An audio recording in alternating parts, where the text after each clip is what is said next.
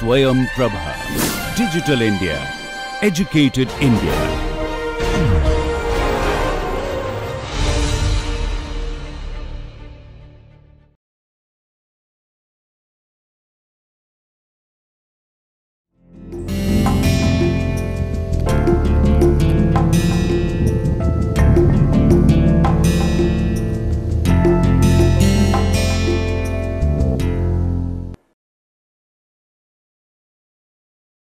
स्वच्छता का समाजशास्त्र पाठ्यक्रम में मैं आपका हार्दिक अभिनंदन करता हूँ।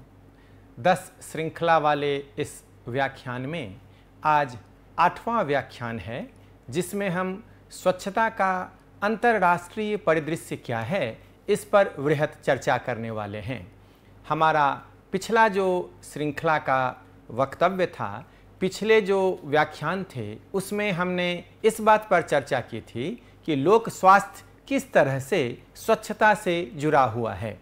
स्वच्छता, स्वास्थ्य, समाज के अंत संबंधों की विस्तृत चर्चा हमने अपने पिछले व्याख्यान, जो कि लोक स्वास्थ्य और स्वच्छता पर आधारित था, इस पर हमने की थी।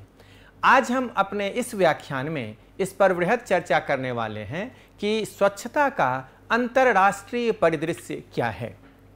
जब हम इस चर्चा की शुरुआत कर रहे हैं तो आपके मन में एक स्वतः प्रश्न उठ रहा होगा कि हम जब स्वच्छता की बात कर रहे हैं तो मैं किस तरह से रह रहा हूँ, मेरे आसपास क्या है, या उससे ज़्यादा मेरे समाज की क्या स्थिति है, मेरे गाँव या मेरे कॉलोनी की शहर में क्या स्थिति है, इस पर जानना मेरे लिए आवश्यक है। किंतु इसकी क्या ज़रूरत है कि हम विश्व में क्या घटनाएँ घटित हो रही हैं, स्वच्छता से संबंधित क्या क्या होने वाले हैं, या क्या परिदृश्य है विश्व का, इससे मुझसे क्या लेना देना?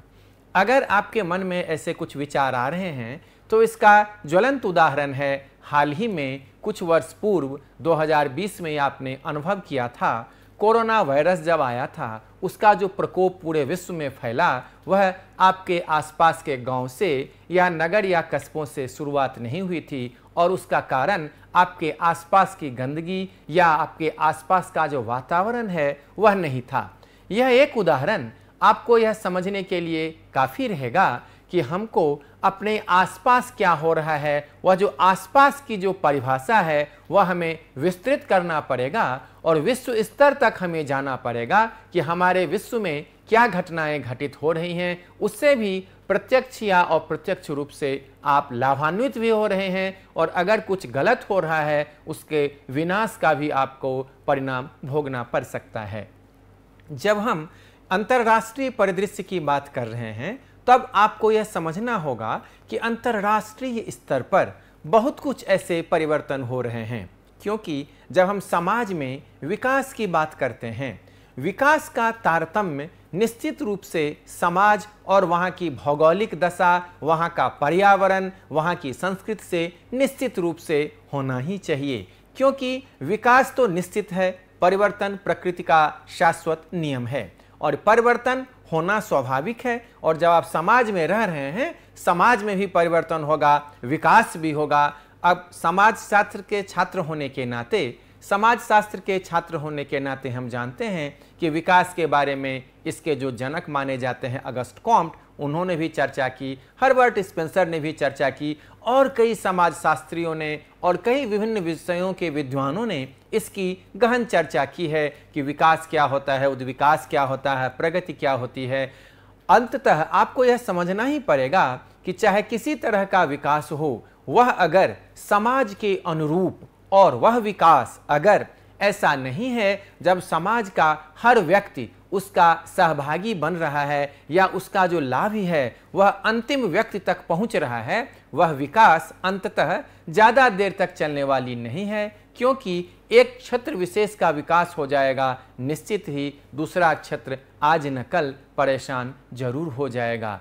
हमें यह ध्यान रखना चाहिए कि जब हम विकास कर रहे हैं तो ऐसे विकास की हम चर्चा करें, जिससे हम स्वयं भी लाभान्वित हों, हमारा आस पड़ोस भी लाभान्वित हो, और अगर हम दूर तक सोचें तो विश्व में एक ऐसा परिदृश्य निर्माण हो, जिसमें किसी को कोई दिक्कत न हो। इसी संदर्भ में हमें ज़रूरत है आज इस चीज़ पर परिचर्चा करने की, इस चीज़ पर गहन चिंतन करने की, कि स्वच्छता से संबंधित, स्वच्छता, समाज संस्कृति, मूल्य, परंपरा, हमारा व्यवहार, यह सब निश्चित रूप से स्वच्छता के अनुरूप होना चाहिए और यह सब चीज़ निश्चित रूप से अंत संबंधित भी है। किंतु हम इस पर जान लें कि विश्व स्तर पर क्या ऐसी चीज़ें हैं जिस पर हमें चिंतन करने की ज़रूरत है। ऐसे कौन से आंकड़े हैं जो हमें चौंकाने वाले हैं? ऐसी क्या परिदृश्य है? अगर हम वो जान लेंगे, तब हम थोड़ा ज़्यादा सजग हो जाएँगे। इसीलिए हम आज कुछ आंकड़ों के साथ आपके साथ उस पर चर्चा करने वाले हैं कि स्वच्छता से संबंधित विश्व स्तर पर कैसी परिस्थिति है, क्या स्थिति है और यह क्या रूप में, किस रूप में देखा जा रहा है इसको विश्व स्तर पर? क्या क्या इसके लिए समाधान के प्रयास किए जा रहे हैं? या विश्व स्तर पर विश्व के कई देश मिलकर इस पर क्यों गंभीर चिंतन मनन कर रहे हैं? इस पर आज हम विस्तृत चर्चा करेंगे। सबसे पहले आपको समस्या को जान लेना होगा कि विश्व स्तर में ऐसी क्या चीज़ हो रही है जिसके कारण हमें चिंतित होने की ज़रूरत है। और जब आप यह समस्या अच्छी तरह जान लेंगे, तभी आप उसके बारे में सोच पाएँगे कि हमें इसके बारे में क्यों चिंतन करने की ज़रूरत है। इसके लिए जो विश्व स्वास्थ्य संगठन है डब्ल्यूएचओ उससे हमने कुछ आंकड़े एकत्रित किए हैं, जिससे आपको हम यह समझा सकें कि विश्व का अभी यह परिदृश्य है, अंतर्राष्ट्रीय परिदृश्य स्वच्छता से संबंधित कुछ इस तरह से हैं। आइए इसको हम देखते हैं। जब विश्व स्वास्थ्य संगठन से हम यह आंकड़ा ले रहे हैं, आपको यह स्पष्ट कर दें, यह जो आंकड़ा है, यह 21 मार्च 2022 का है। उसी दिन तक का आंकड़ा लिया गया है। विश्व स्वास्थ्य संगठन के जो वेबसाइट हैं, उस पर जो उपलब्ध आंकड़ा था, यह 21 मार्च 22 को यह कुछ इस प्रकार से है। 2020 में वैश्विक आबादी के चौवन प्रतिशत लोगों ने सुरक्षित रूप से प्रबंधित स्वच्छता सेवा का उपयोग किया। आपको यह जानकर आश्चर्य होगा कि यह प्रतिशत सिर्फ़ चौवन प्रतिशत ही है, अर्थात आधे लोगों ने ही इसका उपयोग किया। उसके बाद एक दशमलव सात अरब से अधिक लोगों के पास अभी भी निजी शौचालय या शौचालय जैसी बुनियादी स्वच्छता सेवाएँ नहीं हैं। अब आप यह जानकर चौंक सकते हैं कि जब आपके आसपास के लोग चर्चा कर रहे हैं, खुले में शौच की, या हमारे आपके यहाँ चर्चा चल रही है ओडीएफ की, लोग बाहर जाकर शौच कर रहे हैं, या आप कोई विज्ञापन भी देख रहे होंगे कि खुले में शौच किस तरह से हानिकारक हो सकता है किसी के लिए। अब तो ओडीएफ से भी ज़्यादा जब हम उस दिशा में काफ़ी प्रगति कर चुके हैं तो हम लोग ओडीएफ प्लस की चर्चा करने लगे हैं। तो स्वच्छ भारत मिशन या और कई ऐसे योजनाएँ चल रही है, जिसकी विस्तृत चर्चा हम आगे करेंगे अन्य व्याख्यान में। अगर हम विश्व स्तर पर देखें, तब आपको यह जानकर आश्चर्य होगा कि यह जो खुले में शौच या ऐसी समस्या है, यह सिर्फ़ भारत तक ही सीमित नहीं है, विश्व के अन्य देश में भी यह कुप्रथा प्रचलित है। अभी भी कई लोग इसका उपयोग कर रहे हैं, अर्थात खुले में शौच जाने को विवश हैं और शौचालय अभी भी उनके लिए एक सपना भी बना हुआ है। और यह आंकड़ा हमें यह बता रहा है कि हमें इसके लिए व्यापक स्तर पर सोचने की ज़रूरत है, क्योंकि यह जो विश्व स्तर का आंकड़ा है, जो अभी भी कई व्यक्ति शौचालय की सेवा नहीं ले पा रहे हैं या खुले में शौच कर रहे हैं, यह निसंदेह एक खतरे की घंटी है। हमें चौंकाने वाली बात है ये। इसके बाद अगर हम देखें, इनमें से चार सौ चौरानवे मिलियन अभी भी खुले में शौच करते हैं। उदाहरण के लिए सड़क के नालों में, झाड़ियों के पीछे या पानी के खुले निकायों में। इस तरह से आप जान रहे हैं, अभी हमने खुले में शौच की चर्चा की। यह विभिन्न जगहों पर किस तरह से खुले में शौच जाने के लिए विवश हैं। इसके अलावा अगर हम देखें 2020 में वैश्विक स्तर पर उत्पन्न घरेलू अपशिष्ट जल का 45 प्रतिशत बिना सुरक्षित उपचार के बहा दिया गया। यह आंकड़ा आपके लिए निसंदेह चौंकाने वाले होने चाहिए, क्योंकि 45 प्रतिशत कम नहीं होता है, लगभग आधा होता है। आप जानते हैं, हमने पिछले व्याख्यान में जब हम पर्यावरण की बात कर रहे थे, जल प्रदूषण की बात कर रहे थे, अब आप समझिए, अगर हम इस जल में इस तरह से हम प्रदूषित करते रहेंगे और वह भी विश्व स्तर पर है। विश्व स्तर का आधा, अर्थात आप समझ सकते हैं, विश्व में जो जल भाग है विश्व के जो जल हैं, वह किस तरह से दूषित हो रहे हैं? और इसमें अगर आधा हम इस तरह से पानी को बर्बाद कर रहे हैं, जिसका समाधान है। समाधान वैज्ञानिकों ने निकाल चुका है और कई ऐसे समाधान हैं जो निश्चित रूप से अपन, अपने व्यवहार परिवर्तन करके या वह नई तकनीक अपना के हम कर सकते हैं। तो यहाँ भी हमें सजग होने की ज़रूरत है कि जब हम जल प्रदूषण में अपनी भूमिका निभा रहे हैं तो क्या हमें यह अधिकार है कि विश्व स्तर पर इतनी गलती हम करते रहें? और अगर जल प्रदूषण में हम इतना अपने अपना हाथ बटाते रहेंगे, कल जाके हम खुद भी उससे प्रभावित हो रहे हैं, और यह जो प्रकोप होगा, यह निश्चित रूप से बहुत भयंकर होगा। इसलिए इस पर भी हमें सोचने की ज़रूरत है कि यह जो प्रतिशत है, यह बहुत ही चिंताजनक है। ऐसा माना जाता है कि दुनिया की कम से कम 10 प्रतिशत आबादी अपशिष्ट जल से सिंचित भोजन का उपभोग करती है। अब आप इससे ये समझिए कि न सिर्फ़ दूषित जल आपके लिए हानिकारक है, बल्कि उससे जब भोजन बन रहा है या उससे जो आप उसके, उस तरह के जल से जो तैयार होता है, चाहे भोजन हो, फल हो, सब्ज़ी हो तो आपके शरीर में वह प्रत्यक्ष या अप्रत्यक्ष रूप से कितना नुकसान करता होगा।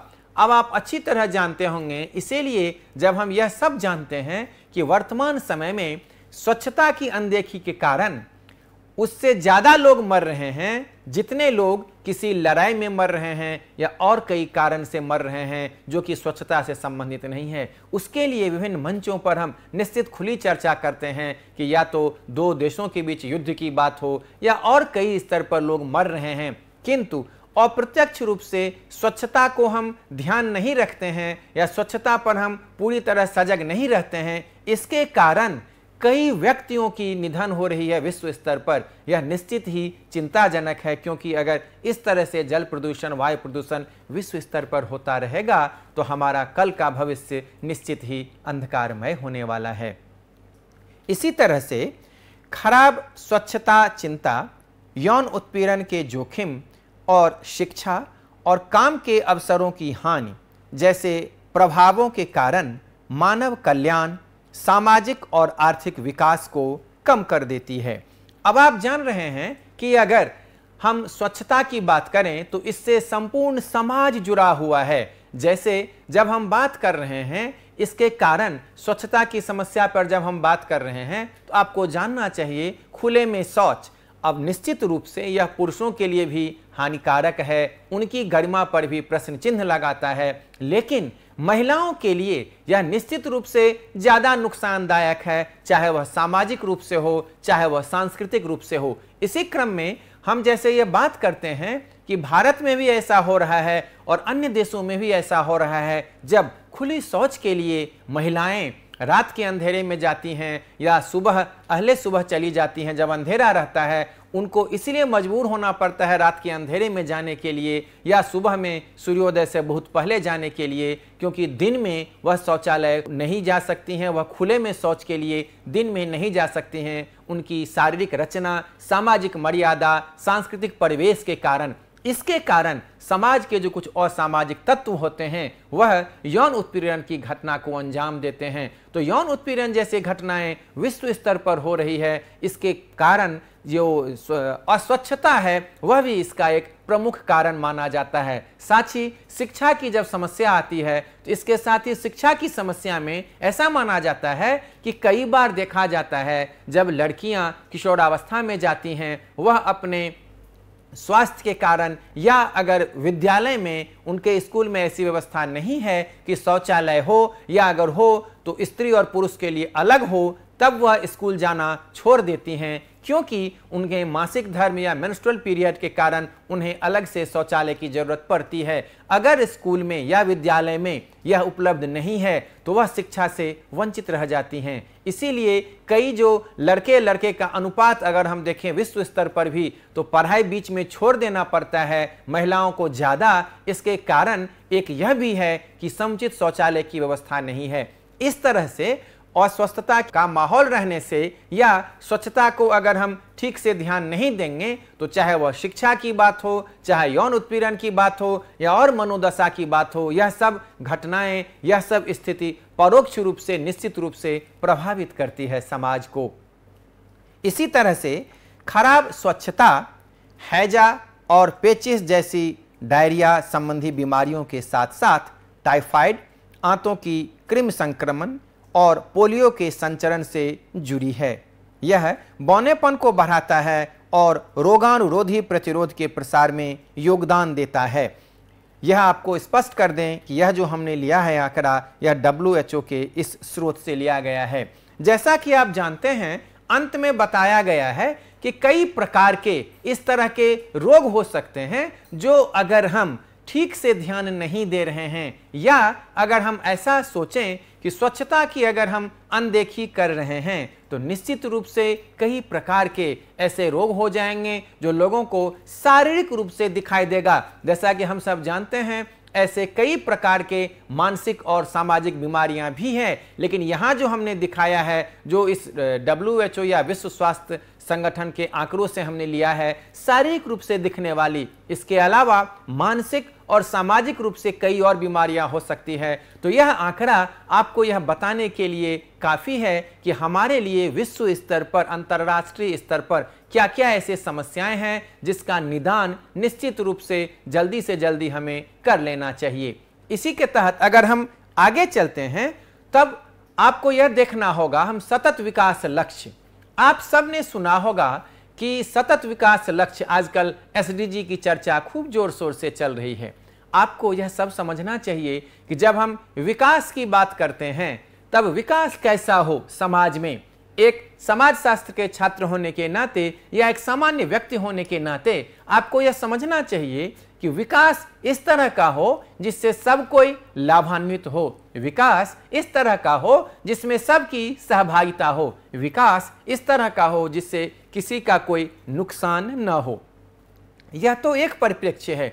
दूसरा आपको यह भी देखना होगा कि विकास वर्तमान में हम इस तरह से करें कि वर्तमान में भी हमें कोई दिक्कत ना हो और हमारे आने वाली पीढ़ी को भी कोई समस्या नहीं हो। इसी को सतत विकास कहते हैं। अर्थात हमें दीर्घकालीन विकास के बारे में सोचना चाहिए और दीर्घकालीन विकास के बारे में हम तभी सोच सकते हैं जब हमारा आज का जो सोच है, हमारे आज की जो सोच है या आज की जो व्यवस्था है, वह कुछ इस तरह से हम करें कि वर्तमान में किसी को कोई दिक्कत न हो और कल जब हम आने वाली पीढ़ी हो, उसको भी इसी तरह से कोई दिक्कत ना हो, हमारी व्यवस्था ऐसी हो, चाहे वह पर्यावरण का दोहन हो, चाहे वह आर्थिक आधार पर हो, चाहे सामाजिक आधार पर हो, किसी तरह से अगर जब हम विकास कर रहे हैं तो हमारी विकास इस तरह की भी नहीं होनी चाहिए कि हमारा कल तो सुरक्षित रहेगा, लेकिन आज असुरक्षित हो जाएगा कल के सुरक्षित बनाने के चक्कर में।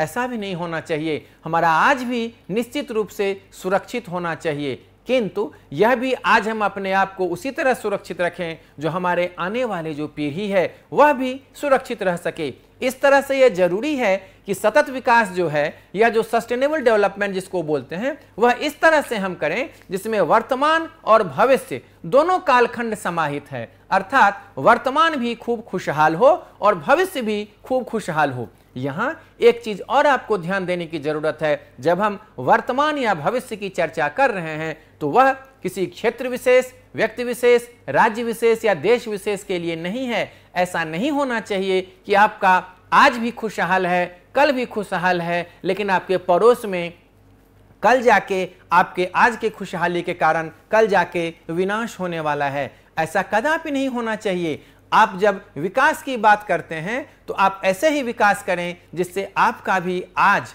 और आने वाला कल भी सुखमय हो और आपके पड़ोसी का भी हो। साथ ही हमें यह भी जब हम विकास की बात करते हैं, यह भी ध्यान रखना चाहिए कि इसका तालमेल हमारे भौगोलिक वातावरण, पर्यावरण और बाकी चीज़ जो सामाजिक मान्यताएँ हैं, इसके साथ भी होना चाहिए। क्योंकि कभी कभी ऐसी घटनाएँ घट जाती हैं जिससे आपको लगता है कि विकास तो हो गया, लेकिन इसके कारण, इस विकास के कारण बहुत सारे पेड़ काट दिए गए, बहुत सारे जल प्रदूषण हुए, बहुत सारी अन्य समस्याएँ हो गई।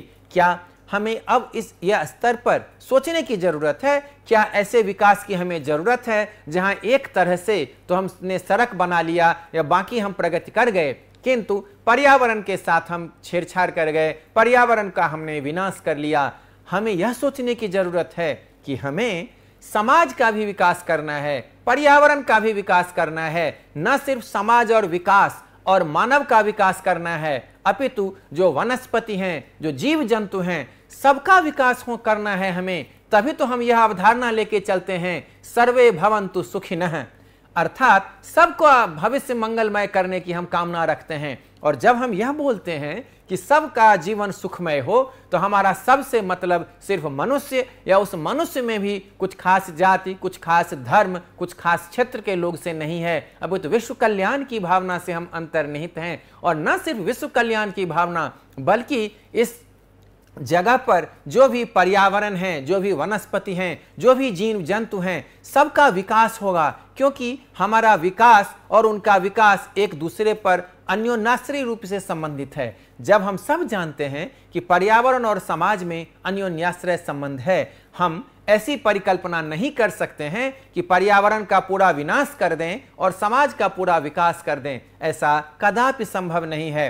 वनस्पति का पूरा विनाश कर दें और मनुष्य का पूरा विकास कर दें। ऐसा कदापि संभव नहीं है, क्योंकि हम सब एक दूसरे के पूरक हैं। एक दूसरे के लिए हानिकारक नहीं है, एक दूसरे का अस्तित्व एक दूसरे पर ही टिका हुआ है। हमें इसके बारे में निश्चित रूप से सोचने की ज़रूरत है कि जब हम विकास कर रहे हैं तो उस विकास में सबकी भागीदारी हो, सब लोग मिलके उस विकास में लें, उसका जो फल मिले, वह सबको मिलना चाहिए। इसी तरह से सबसे हमारा मतलब इस क्षेत्र में, इस क्षेत्र के लिए ही नहीं, इस समाज के लिए, इस राज्य, राष्ट्र के लिए नहीं संपूर्ण विश्व के लिए, क्योंकि जब हम पर्यावरण की बात करते हैं, स्वच्छता की बात करते हैं तो हमारे स्वच्छता के कारण बाकी लोग भी उससे प्रभावित होते हैं। चाहे वह अच्छी तरह से प्रभावित हों या बुरी तरह से प्रभावित हों, इसका प्रभाव निश्चित रूप से उन पर पड़ता ही रहता है।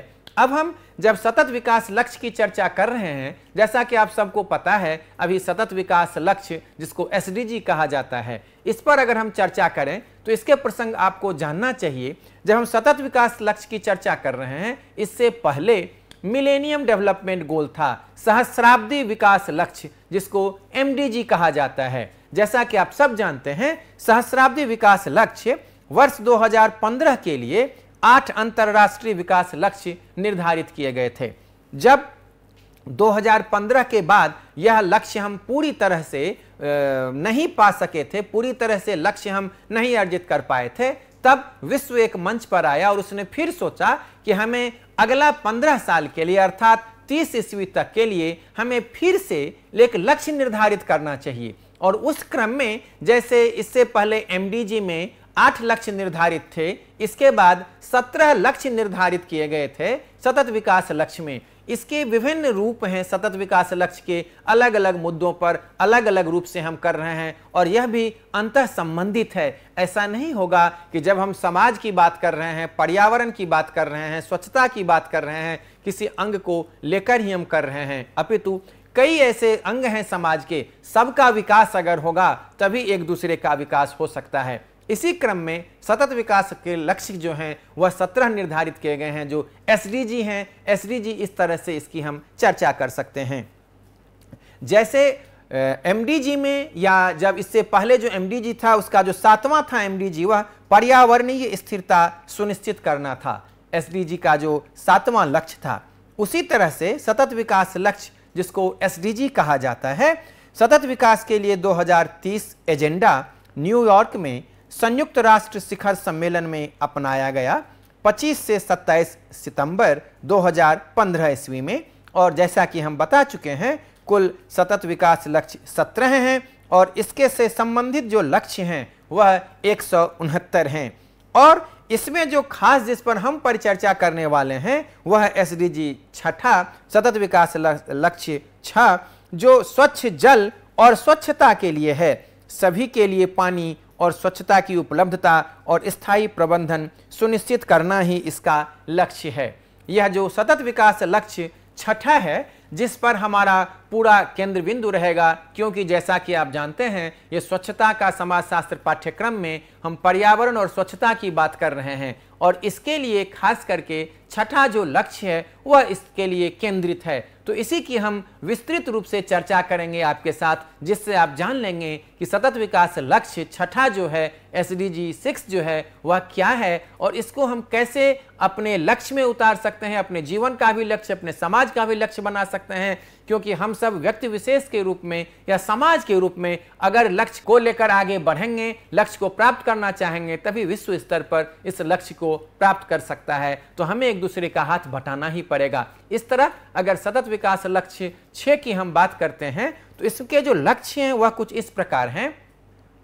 लक्ष्य छः दशमलव एक जो है 2030 तक सभी के लिए सुरक्षित और किफ़ायती पेयजल की सार्वभौमिक और न्याय संगत पहुँच हासिल करना है।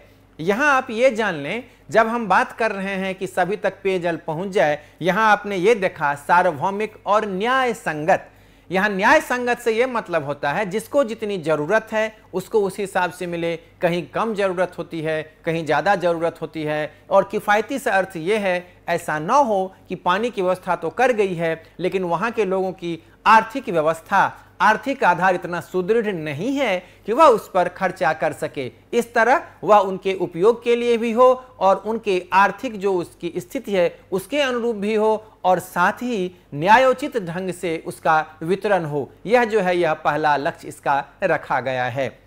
इसका जो दूसरा लक्ष्य है, वह है 2030 तक सभी के लिए पर्याप्त और समान स्वच्छता और स्वच्छता तक पहुँच करना प्राप्त करना और खुले में शौच को समाप्त करना, महिलाओं और लड़कियों और कमज़ोर परिस्थितियों में रहने वाले लोगों की ज़रूरतों पर विशेष ध्यान देना। अब आप समझ सकते हैं, जब हमने पिछले व्याख्यान में स्पष्ट रूप से लिंग और स्वच्छता की बात कर रहे थे, तब हमने चर्चा की थी कि शौच की समस्या या पानी लाने की समस्या सबके लिए है, किंतु महिलाओं के लिए यह अलग एक खास हो जाता है, क्योंकि इसके लिए कई सांस्कृतिक जो तत्व हैं समाज में, कई जो और स्थिरता है, या यह हम देखते हैं कि समाज में कई ऐसे मानदंड हैं जो सिर्फ़ महिलाओं के लिए हैं, समाज में सांस्कृतिक जो पक्ष हैं, वह महिलाओं के लिए हैं, समाज में जो गरिमा या अस्तित्व की रक्षा या इज़्ज़त की बात है, वह सिर्फ़ महिलाओं के साथ जोड़ी जाती है। तो महिलाओं के लिए विशेष ध्यान देने की ज़रूरत इसलिए है कि उनकी कुछ शारीरिक रचनाएँ भी ऐसी हैं, जैविक आवश्यकता भी ऐसी है और सामाजिक रूप से पितृसत्तात्मक मानसिकता के कारण उनको इस तरह से बाँध के रखा गया है और गरिमा के साथ जोड़ के रखा गया है, जिससे उनकी जो दैनिक जीवन है, वह प्रभावित हो रहे हैं। वह ठीक से अच्छी तरह से समाज में रह भी नहीं पाती हैं। न सिर्फ़ उनको खुले में शौच की समस्या होती है, जिसके कारण कई तरह के उन्हें शारीरिक समस्या आ जाती हैं, क्योंकि कई बार वह इसके लिए भी चिंतित रहती हैं कि कम खाना खाती हैं, कम पानी का प्रयोग करते हैं जिससे उनको शौच के लिए कम बार जाना पड़े। इसी तरह से कभी कभी उनको यौन उत्पीड़न की घटना भी हो जाती है, या कई जगह जानवरों द्वारा आक्रमण भी कर दिए जाते हैं, या कई बार उन्हें पढ़ाई छोड़ देनी पड़ती है। यह सब जो खास समस्याएँ हैं, वह महिलाओं के लिए विशेषतः हैं। निश्चित रूप से खुले में शौच या स्वास्थ्य संबंधी और जो समस्याएँ हैं, पुरुषों के लिए भी हैं, किंतु कुछ खास समस्याएँ हैं, वह महिलाओं को ज़्यादा सामना करना पड़ रहा है। इसलिए ये एसडीजी या सतत विकास लक्ष्य में भी महिलाओं पर विशेष बल दिया गया है। इसका जो अगला लक्ष्य है, वह है 2030 तक प्रदूषण को कम करके, डंपिंग को समाप्त करके और खतरनाक रसायनों और सामग्रियों की रिहाई को कम करके अनुपचारित अपशिष्ट जल के अनुपात को आधा करके और वैश्विक स्तर पर रिसाइकलिंग और सुरक्षित पुनः उपयोग को बढ़ाकर पानी की गुणवत्ता में सुधार करना। जैसा कि आप सब जानते हैं, इसमें यह भी कहा गया है कि हम जब जल में जल को प्रदूषित कर देते हैं, अर्थात खराब जल को पानी में बिना उसका उपचार किए छोड़ देते हैं या रिसाइकलिंग नहीं कर पाते हैं तो यह जो ऐसे कुछ हैं चाहे वो औद्योगिक क्षेत्रों से हो, चाहे आपके घर से हो, चाहे बड़े बड़े और कारणों से हो, इस पर हमें ध्यान देने की ज़रूरत है। इसीलिए इसका लक्ष्य निर्धारित किया गया है कि विश्व स्तर पर इसके बारे में हमें गंभीर रूप से चिंतन करने की ज़रूरत है। अगला लक्ष्य है कि 2030 तक सभी क्षेत्रों में जल उपयोग दक्षता में उल्लेखनीय वृद्धि करना और पानी की कमी को दूर करने के लिए मीठे पानी की स्थायी निकासी और आपूर्ति सुनिश्चित करना है और पानी की कमी से पीड़ित लोगों की संख्या को काफ़ी हद तक कम करना है। जैसा कि आप जानते हैं, इसमें निश्चित रूप से जल एक बहुत बड़ी समस्या है और जल ही जीवन है कहा जाता है। अगर हमें जल नहीं मिलेगा तो अपने जीवन को हम कैसे सुचारू रूप से चला पाएँगे? इसलिए इस लक्ष्य में इस पर ध्यान दिया गया है। हमारा अगला लक्ष्य है बी 2030 तक सभी स्तरों पर एकीकृत जल संसाधन प्रबंधन लागू करना, जिसमें उचित सीमा पार सहयोग भी शामिल है। यहाँ आपको यह समझने की ज़रूरत है, सीमा पार सहयोग से यह मतलब है, जब हम बार बार चर्चा करते हैं कि स्वच्छता, जल, पर्यावरण, यह ऐसी चीज़ें हैं जो सिर्फ़ आपके आसपास से ही निर्धारित नहीं की जाती है। यहाँ सीमा पार से अर्थात यह नहीं कि एक राज्य दूसरा राज्य, यह तो है ही, चूँकि यह अंतर्राष्ट्रीय स्तर पर हो जा रहा है, इसीलिए एक राज्य की, एक देश की सीमा और दूसरे देश की सीमा में भी तालमेल होना चाहिए। जब आप आपस में दो देश तीन देश, चार देश एक दूसरे से मिलकर रहते हैं तो कई ऐसी समस्याएँ हैं जिसका एक साथ सब लोग आएँगे। इसीलिए आपने सुना होगा, विश्व स्तर पर कई ऐसे संगठन बनाए गए हैं, जिसमें कुछ खास पाँच, दस, बीस अलग अलग कारणों से कुछ देश एकत्रित होते हैं और उस पर चिंतन मनन करते हैं। इसकी भी यहाँ ज़रूरत है।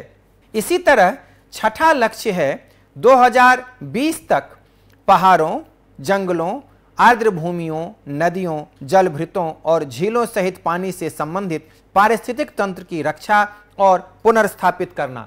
2020 निश्चित रूप से गुजर चुका है। हम सब प्रयास कर रहे हैं कि अगर इसमें कुछ अभी भी शेष है तो उसको हम जल्दी से जल्दी प्राप्त कर लें। इसका अगला लक्ष्य है 2030 तक जल संचयन, अलवीकरण, जल दक्षता, अपशिष्ट जल उपचार, पुनर्चक्रण और पुनः उपयोग प्रौद्योगिकियों सहित जल और स्वच्छता संबंधित गतिविधियों, कार्यक्रमों में विकासशील देशों के लिए अंतरराष्ट्रीय सहयोग और क्षमता निर्माण संवर्धन का विस्तार करना। इस तरह से आप जान रहे हैं कि कई तरह से हम जब औद्योगिक क्षेत्रों से संबंधित बात करते हैं या रिसाइकलिंग की बात करते हैं, इस पर हमें विश्व स्तर से संबंधित चीज़ों पर भी हमें ध्यान देना चाहिए। इसका अंतिम लक्ष्य है जल और स्वच्छता प्रबंधन में सुधार के लिए स्थानीय समुदायों की भागीदारी को समर्थन और मज़बूत बनाना। यह जो है हमने जो आपके साथ आंकड़ा साझा किया है, यह हमने सतत विकास लक्ष्य, राष्ट्रीय संकेतक फ्रेमवर्क संस्करण तीन दशमलव एक से लिया है, जो भारत सरकार की सांख्यिकी और कार्यक्रम कार्यान्वयन मंत्रालय द्वारा उपलब्ध कराया गया है।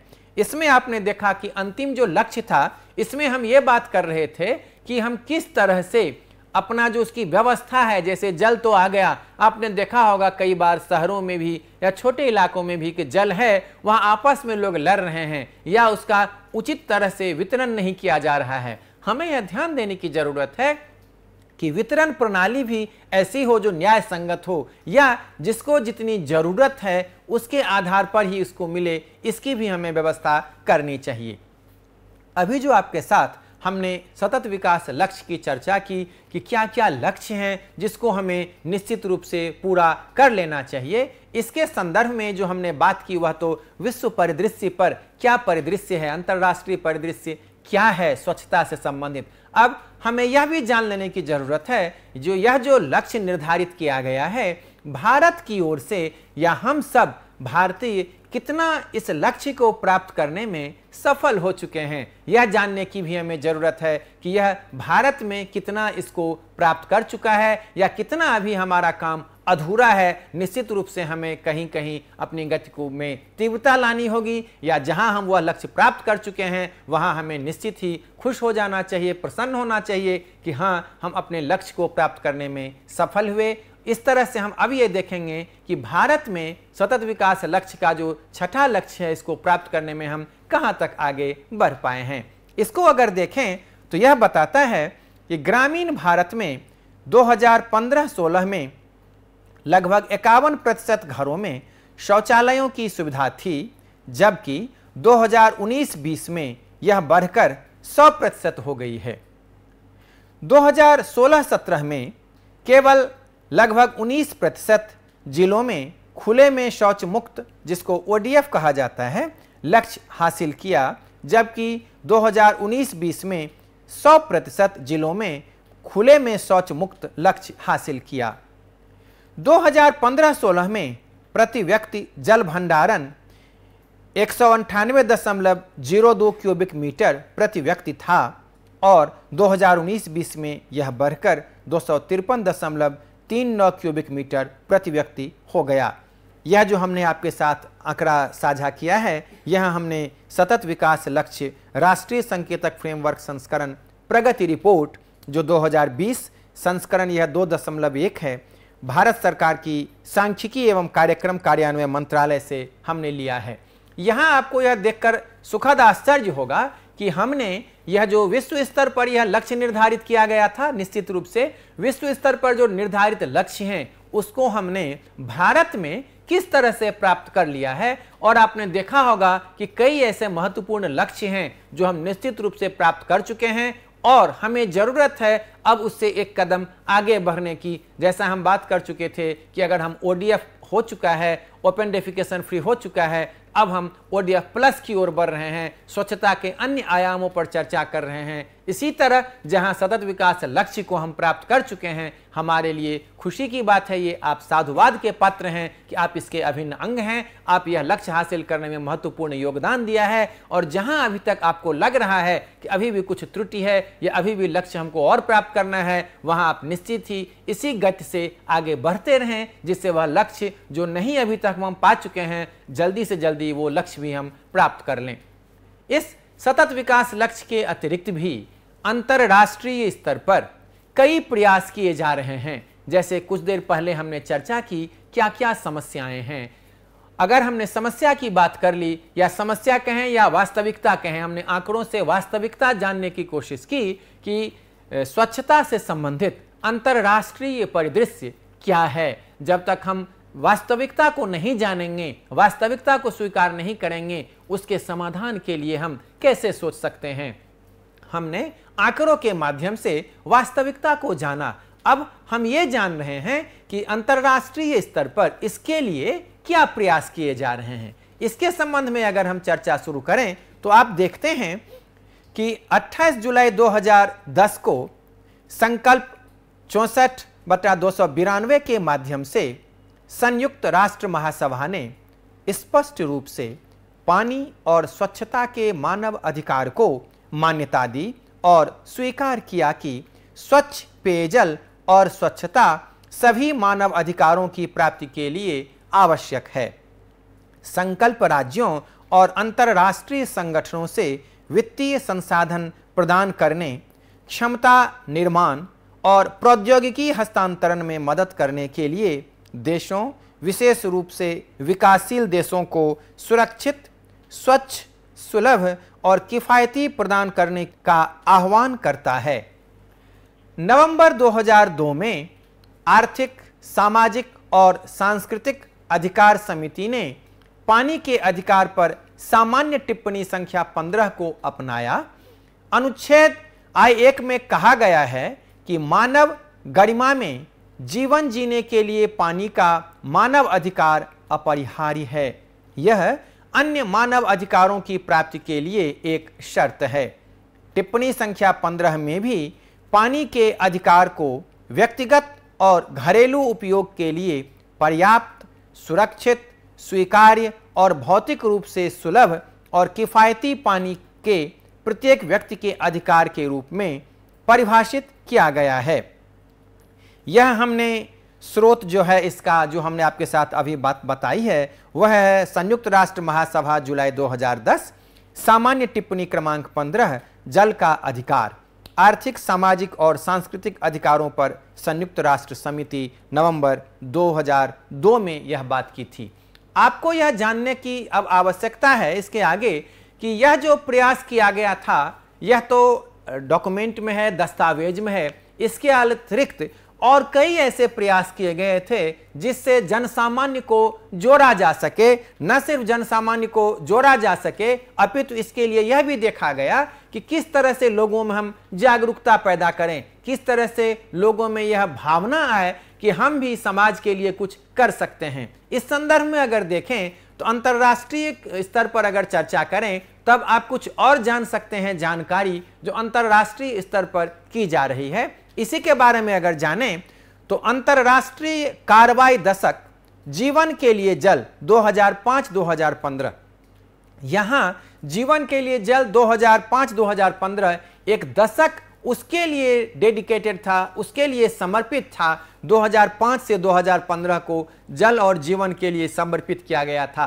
विश्व स्तर पर 10 वर्ष जल के लिए देना और उसके बारे में चर्चा परिचर्चा करना, लोगों को जागरूक करना, उसके बारे में चिंतन मनन करना एक बहुत बड़ी उपलब्धि मानी जा सकती है स्वास्थ्य के संदर्भ में। इसी तरह विश्व शौचालय संगठन ने 19 नवंबर को विश्व शौचालय दिवस घोषित किया, जो 2001 से हर साल आयोजित किया जा रहा है। आपने कई तरह के दिवस सोचे होंगे, लेकिन विश्व शौचालय दिवस वर्ल्ड टॉयलेट डे या 19 नवंबर को मनाया जाता है।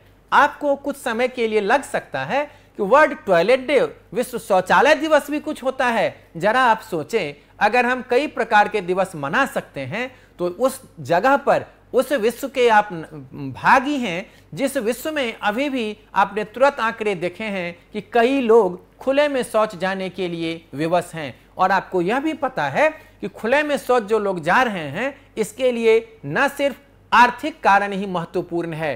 अर्थात हर स्थिति में आर्थिक कारण ही नहीं है, जिसके कारण लोग शौचालय का प्रयोग नहीं करते हैं, बल्कि इसके साथ ही सामाजिक, सांस्कृतिक कारण भी कई जगह पाए गए हैं, जिसके कारण लोग अभी भी खुले में शौच जा रहे हैं। निश्चित रूप से ऐसे वातावरण में अगर प्रतिवर्ष 19 नवंबर को विश्व शौचालय दिवस मनाया जाता है तो उन लोगों के लिए यह प्रेरणादायक होगा जो इसके बारे में उस दिन चर्चा पर चर्चा करते हैं कि आखिर क्यों हमें शौचालय की ज़रूरत है। जैसा कि हम सब अभी तुरंत चर्चा कर चुके हैं कि यह पुरुषों के लिए भी ज़रूरत है, महिलाओं के लिए भी ज़रूरत है और जब हम सब ये जानेंगे कि शौचालय एक परिवर्तन का साधन भी हो सकता है आपको यह जानकर आश्चर्य होगा कि शौचालय से सामाजिक परिवर्तन कैसे लाया जा सकता है। शौचालय तो ऐसा शब्द है जिसको आप सामान्य रूप में प्रयोग करने में भी हिचकते हैं। आप यह सोचते हैं, ऐसे शब्द का प्रयोग हम कैसे करें लोगों के सामने?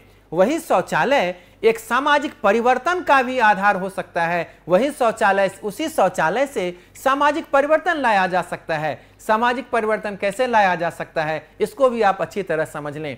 अगर हम शौचालय का निर्माण करते हैं तो न सिर्फ़ हम गरिमा की रक्षा करते हैं, चाहे वह पुरुष हो, चाहे स्त्री हो, हम स्वास्थ्य की रक्षा कर रहे हैं, या हम ऐसा कहें कि हम पर्यावरण की भी रक्षा कर रहे हैं। अगर हम खुले में शौच को रोकते हैं उसके साथ ही अगर हम ऐसा माहौल बना रहे हैं तो हम जो अपने घर में स्त्रियाँ हैं, उनकी भी मर्यादा की भी रक्षा करते हैं। साथ ही उनका जो अध्ययन बीच में रोक दिया जाता है, वह जो शिक्षा से वंचित रह जाती हैं, ज़्यादातर अवसरों पर देखा गया है कि शौचालयों का जो अभाव है, इसके कारण स्त्रियाँ स्कूल नहीं जा पाती हैं किशोरावस्था के बाद। यह उनको हम शिक्षा में निरंतरता बनी रहे, वह स्कूल छोड़ने पर मजबूर ना हो, यह भी एक सामाजिक परिवर्तन का ही अंग माना जाएगा। उसी तरह से कई कारण तो देखा जाता है कि खुले में शौच जाने के क्रम में ही उनके साथ कुछ ऐसी घटनाएँ हो जाती हैं, जो न सिर्फ़ उनके मर्यादा को, गरिमा को, का हनन करता है, अपितु मानसिक रूप से उनको इस तरह से आहत कर देता है कि वह समाज में सामान्य भूमिका नहीं निभा पाती हैं। अब आप अच्छी तरह समझ सकते हैं कि इतना काम अगर हम कर सकते हैं सिर्फ़ एक शौचालय बना लेने से तो निश्चित रूप से ही शौचालय को सामाजिक परिवर्तन का एक साधन माना जा सकता है। शौचालय एक ऐसा शब्द अब नहीं रहा, जब हम ये समझ रहे हैं कि सामान्य रूप से इसकी चर्चा भी नहीं की जा सकती है। क्योंकि खुले में शौच से जो हमें नुकसान हो रहा है, सबको नुकसान हो रहा है। चाहे बड़े हों, बुज़ुर्ग हों, चाहे घर में महिला हो, पुरुष हो, नुकसान सबको हो रहा है। इसके लिए कई योजनाएँ भी बनाई जा रही हैं। योजनाएँ हैं, अपनी जगह पर हैं। आपको अपनी ओर से सोचना पड़ेगा कि हमारी क्या भूमिका है। हम क्या कह सकते हैं? जब हम अब ये जान रहे हैं कि शौचालय से सामाजिक परिवर्तन भी लाया जा सकता है, तब क्यों ना हम घर में शौचालय बना लें या जिसके घर में शौचालय है, उसको उसका उपयोग करने के लिए प्रेरित करें। या जिस घर में शौचालय है, वह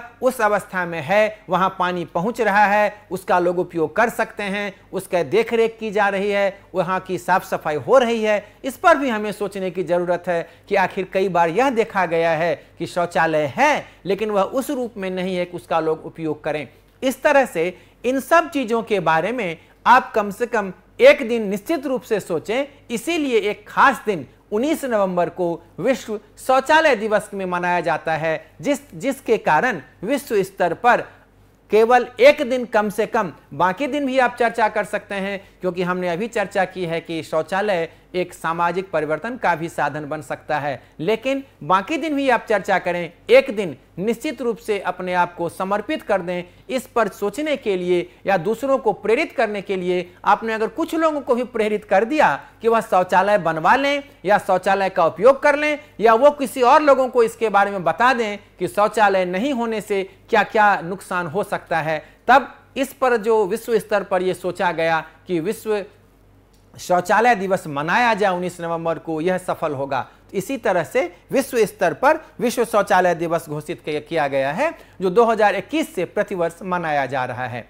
इसके आगे अगर हम चलें तो 20 दिसंबर 2006 को संयुक्त राष्ट्र महासभा ने 2008 को अंतरराष्ट्रीय स्वच्छता दिवस घोषित किया था, इंटरनेशनल ईयर ऑफ़ सैनिटेशन।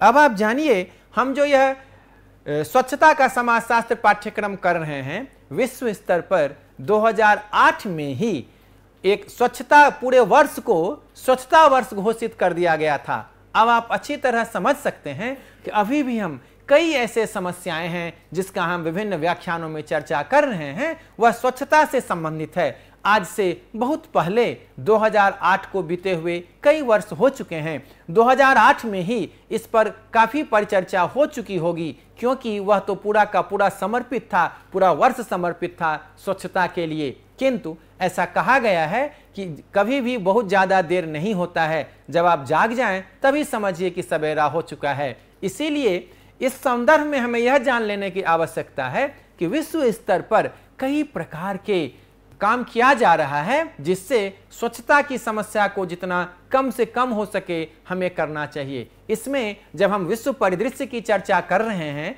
अंतर्राष्ट्रीय स्थिति को जब आप जान रहे हैं, तब आपको यह जानना होगा कि आपकी भूमिका अब और बढ़ गई है। आपकी भूमिका इस रूप से और बढ़ गई है कि अब तक आप ये जान रहे थे कि साफ़ सफ़ाई से रहने की ज़रूरत हमें इसलिए है कि हम अपने समाज में ठीक से रह सकें, हम अपने आस पड़ोस को ठीक से रख सकें। लेकिन जब आप जान रहे हैं कि हमें न सिर्फ़ अपना समाज अपना राज्य, अपना राष्ट्र देखना है, बल्कि विश्व स्तर पर जो भयावह स्थिति है, जिसका चित्रण हमने विभिन्न आंकड़ों के साथ किया है, यह जो भयावह चित्रण है विश्व स्तर पर, इसके लिए अगर आप नहीं सोचेंगे तो कौन सोचेगा? अगर हम सब मिलकर अभी भी इसके बारे में सजग नहीं हो गए तो हमें कल जाके यह न कहे हमारी दूसरी पीढ़ी कि इन लोगों ने ऐसा कुछ नहीं किया जिससे हम आज सुखद जीवन व्यतीत कर सकते थे। आप अपने जीवन को भी खुशहाल रखें। हम ऐसा भी सोचें कि हम सब निश्चित रूप से अच्छे पर्यावरण का निर्माण करें अच्छा सामाजिक माहौल बनाएँ अच्छा सांस्कृतिक व्यवहार करें, सब कुछ ठीक रहे, इसके साथ ही स्वच्छता का पूरा ध्यान रखें। लेकिन यह भी हमें ध्यान रखने की ज़रूरत है कि हम आज सुरक्षित रहें, स्वच्छता ठीक से रहे और हमारे आने वाली पीढ़ी भी ठीक से रहे। इसमें दो तरह से आप इसको ठीक कर सकते हैं। एक तो जब इसकी संसाधन की बात होती है उसमें ऐसा होगा कि जब आपको पेड़ काटना है, तब ऐसा सोचेंगे कि हम इतना पेड़ काटें जिससे मेरा भी काम हो जाए और कल के लिए भी दो पेड़ हम छोड़ दें या आज अगर हम दो पेड़ काट रहे हैं तो निश्चित रूप से चार पेड़ तो हम लगा ही दें। या आज हम जितना जल का उपयोग कर रहे हैं, ऐसी व्यवस्था करें, जल का संचय करें। वाटर हार्वेस्टिंग आपने सुना होगा। बरसात के मौसम में ऐसा बहुत कुछ आप कर सकते हैं, जिससे आप जल का संचय कर सकते हैं। यह तो ऐसा है कि संसाधन का आप इस तरह से उपयोग करें या इस तरह से संयमित उपभोग करें कि कल के लिए भी आप आने वाले पीढ़ी के लिए वह निश्चित रूप से रख दें। किंतु इसके साथ ही आपको यह भी सोच लेना होगा कि जब आप ऐसा सोच रहे हैं कि हम कल के लिए भी करें तो आपको व्यवहार में भी परिवर्तन लाना होगा। आपको व्यवहार में इस तरह से परिवर्तन लाना होगा कि आपका व्यवहार ऐसा हो जो आपके सामाजिकरण के माध्यम से आपका बच्चा कुछ ऐसा सीखे जो वह भी ऐसा कर सके। जैसे संसाधन के संदर्भ में आपने बात की कि आज हम जल की रक्षा करेंगे, जो कल जल उपलब्ध हो, आज हम पेड़ पौधों की रक्षा करेंगे, कल वह सुरक्षित रखे। आज वह हम जीव जंतु की रक्षा करेंगे, वनस्पति की रक्षा करेंगे, जिससे हमारा कल भी सुरक्षित रहे। एक और आपको ऐसा करना है। दूसरी ओर आप अपने परिवार में, अपने समाज में, अपने सगे संबंधियों के बीच वैसा माहौल तैयार करें जिससे स्वाभाविक रूप से जो आने वाली पीढ़ी है, वह सीख ले कि हमें ऐसा ही व्यवहार करना है। अगर आपको वह देख रहा है कि इतना ही जल का आप खर्चा कर रहे हैं, जितना नितांत आवश्यक है, आप अगर पानी का नल खुला नहीं छोड़ देते हैं तो आपका बच्चा भी नहीं सीखेगा। इसी तरह से अगर आप ऐसा कर रहे हैं कि आपस आप, आपके आसपास की जो साफ़ सफ़ाई है वह स्वयं कर रहे हैं। इसमें आप यह नहीं देखते हैं कि मैं महिला हूँ या पुरुष हूँ। साफ़ करना मेरी ज़िम्मेदारी है चाहे वह महिला हो चाहे पुरुष हो। इसी तरह जब आप ये देख रहे हैं पर्यावरण की हम रक्षा किस तरह से कर रहे हैं चाहे आप वृक्षारोपण में भाग ले रहे हैं, अगर आज आप वृक्षारोपण में भाग ले रहे हैं, आपके आसपास के जो बच्चे हैं, आपकी जो अगली पीढ़ी है, वह स्वाभाविक रूप से, स्वतः रूप से सीख रही है कि पर्यावरण की रक्षा कैसे की जानी चाहिए। इसी तरह से जल का संचय कैसे किया जाना चाहिए? आप वाटर हार्वेस्टिंग कर रहे हैं, आप जल का संचय कर रहे हैं, आपकी अगली पीढ़ी स्वतः रूप से सीख रही है। इस तरह से हम यह जान सकते हैं कि यह जो सतत विकास का लक्ष्य है, या सतत विकास की धारणा है, दीर्घकालीन लक्ष्य प्राप्त की जो बात है, यह सिर्फ़ संसाधनों तक ही सीमित नहीं है। इसको आप अच्छी तरह से समझ लें। क्योंकि व्यावहारिक पक्ष पर विशेष बल देना, यही तो स्वच्छता का समाजशास्त्र पाठ्यक्रम की खासियत है कि सिर्फ़ आपको अवधारणा से परिचित नहीं कराया जाता है। विभिन्न जो अवधारणाएँ हैं, वह तो है ही, वह तो आपको पता है ही। अपितु, आपको अपने संस्कार में, आपको अपने संस्कृत से कैसे परिचित होना है, आपको जो समाज द्वारा दिया गया है, उसको आप कैसे अपने बच्चों के लिए भी रखें, यही सब तो खास चीज़ है स्वच्छता के समाजशास्त्र पाठ्यक्रम का।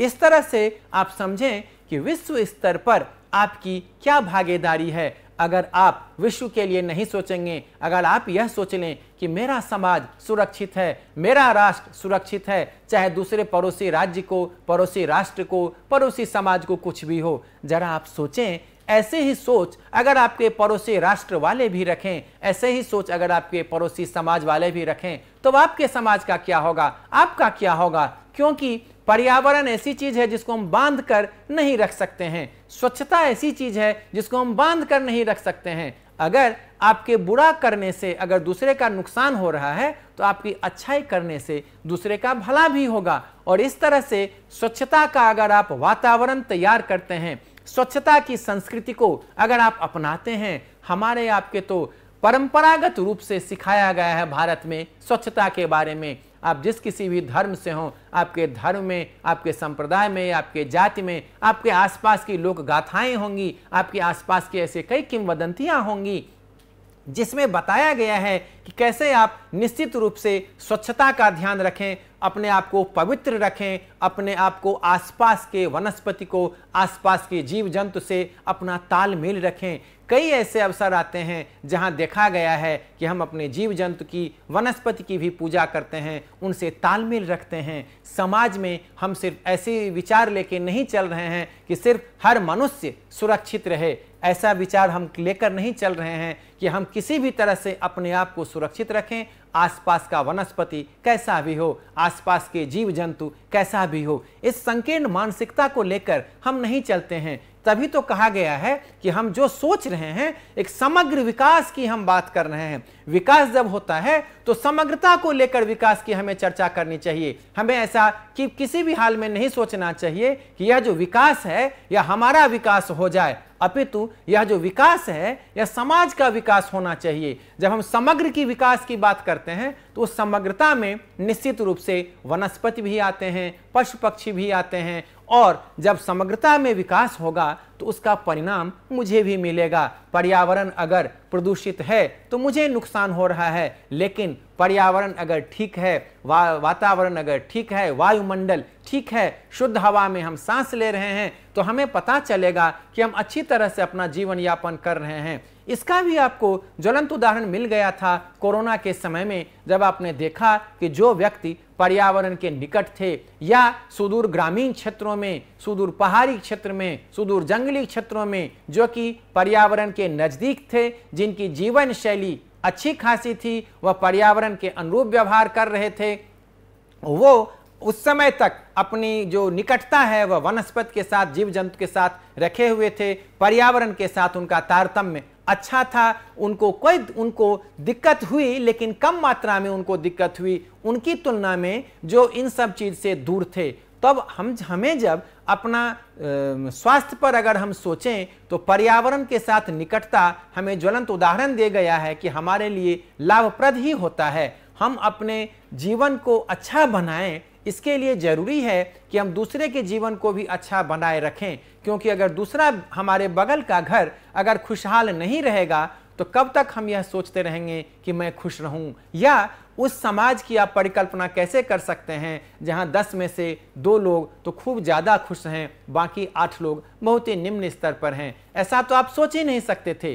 क्योंकि कभी आप नहीं सोच सकते हैं, क्योंकि जब सबका विकास होगा, तभी आपका विकास होगा। ऐसा कभी नहीं हो सकता है कि हम यह सोच के चलें कि किसी का विकास हो या विनाश हो, हमें तो अपने विकास के प्रसंग ही सोचना है। ऐसा आप नहीं सोच सकते हैं। हमें यह निश्चित रूप से सोचना चाहिए कि जब समाज का विकास हो, उसमें हमारी संस्कृति भी हो, हमारी भौगोलिक दशा का भी हमें ज्ञान हो, हमें पर्यावरण के बारे में सोचना चाहिए और उसके संदर्भ में ही स्वच्छता की चर्चा करनी चाहिए, जिससे हमारा समाज भी विकसित होगा और उसके साथ ही हमारा जो राष्ट्र है और विश्व स्तर पर अच्छे विश्व को हम अपना यही योगदान दे सकते हैं, जिससे पूरा विश्व, पूरा अंतर्राष्ट्रीय परिदृश्य हमारा बहुत अच्छा हो। इस संदर्भ में हमने जब अंतर्राष्ट्रीय परिदृश्य की चर्चा की है तो इसके लिए हमने आपके लिए कुछ स्पष्ट रूप से कुछ जो है, आपके लिए हमने कुछ पुस्तकें तैयार की हैं संदर्भ सूची के रूप में, जिन पुस्तकों के माध्यम से आप अच्छी तरह से इस पर गहन चिंतन मनन कर सकते हैं। यह संदर्भ सूची कुछ इस तरह से है। बीके नागला की पुस्तक है sociology of sanitation Richard Pais की पुस्तक है sociology of sanitation Bindeshwar Pathak की संपादित पुस्तक है sociology of sanitation environmental sanitation public health and social deprivation Bindeshwar Pathak की दूसरी पुस्तक है environmental sanitation and eradication of scavenging in India Ashish Saxena की पुस्तक है sociology of sanitation GRP Singh की पुस्तक है, स्वच्छता का समाजशास्त्र परिचय। अनिल वघेला की पुस्तक है स्वच्छता का समाजशास्त्र। इस तरह से आपने देखा कि हम विभिन्न स्रोतों के संदर्भ सूची के माध्यम से आप यह तैयार कर सकते हैं अगर इस पर गहन अध्ययन करना चाहते हैं कि स्वच्छता का विश्व स्तर पर क्या क्या परिदृश्य है। इस तरह आज हमने स्वच्छता से संबंधित विश्व स्तर पर जो आंकड़े हैं, जो वास्तविकता है, उसकी हमने चर्चा की। विश्व स्तर पर, अंतर्राष्ट्रीय स्तर पर क्या क्या इसके लिए प्रयास किए जा रहे हैं, इस पर हमने चर्चा की। जो सतत विकास लक्ष्य है, वह कौन कौन से हैं? छठा सतत विकास लक्ष्य जो है, जो हमारे इस पाठ्यक्रम से संबंधित है, उस पर हमने गहन चर्चा की और भारत वहाँ उपलब्ध करने में कहाँ तक आगे बढ़ चुका है, इसके साथ ही और कौन कौन से अंतर्राष्ट्रीय प्रयास किए जा रहे हैं स्वच्छता से संबंधित, इस पर हमने आज चर्चा की। हमारा जो अगला व्याख्यान होगा, उसमें हम स्वच्छता से संबंधित कौन कौन सी सरकारी नीतियाँ हैं कौन कौन से योजनाएँ चल रही हैं, सरकार द्वारा हम अपनी अगली जो व्याख्यान है, उसमें आपने इस व्याख्यान मनोयोग पूर्वक सुना और हमें पूर्ण विश्वास है कि आप इस पर हैं। और इसी तरह से मैं आपने मनोयोग पूर्वक मेरा यह का धन्यवाद।